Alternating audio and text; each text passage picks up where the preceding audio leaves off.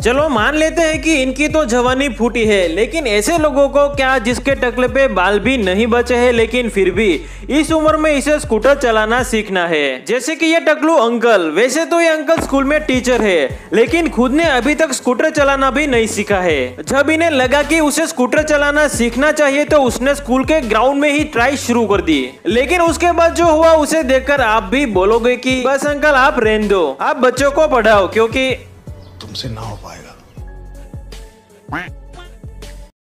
हवाबाजी और show off अक्सर दूसरों को दिखाने के लिए ही होता है। लेकिन अगर हवाबाजी करते वक्त कुछ भी गड़बड़ हुई तो नुकसान तो खुद का ही होता है। लेकिन कुछ लोग इस बात को समझते नहीं है और खुद का नुकसान करवा बैठते हैं। अब यहाँ पर यह बाइक राइडर अपनी बाइक पर खड़ा होकर के व्हीली मारने के चक्कर में खुद तो गिरता ही है। साथ में अपनी बाइक को भी खाई में गिरा कर अपना बड़ा नुकसान करवा बैठता है। जी हाँ दोस्तों, जब ये बंदा व्हीली मारने के लिए बाइक पर जब खड़ा होता है तभी उस बंदे का बैलेंस बिगड़ता है और इम्बेलेंस होकर के वो बाइक पर से गिर जाता है और उसकी बाइक भी अपने आप चलते हुए खाई में गिर जाती है।